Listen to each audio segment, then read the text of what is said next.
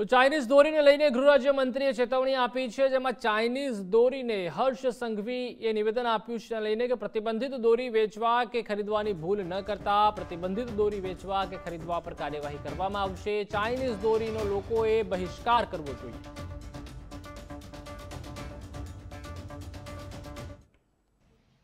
સૌ ગુજરાતીઓને ખાસ કરીને હું અપીલ કરું છું કે ચાઇનીઝ માંજાનો આપણે સો ટકા બહિષ્કાર કરવો જોઈએ.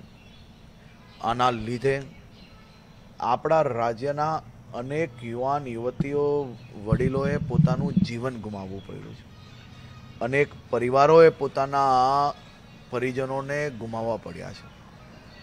આજે ગાંધીનગર કલેક્ટરશ્રીનો જે નિર્ણય છે, આ આખા ગુજરાતની અંદર આપણે અનેક વર્ષોથી લાગુ પાડીએ છીએ. અને ખૂબ જ ગંભીરતાપૂર્વક ચાઇનીઝ માંજો વેચનાર અને ખરીદનાર લોકો આનાથી સાવધાન રહે.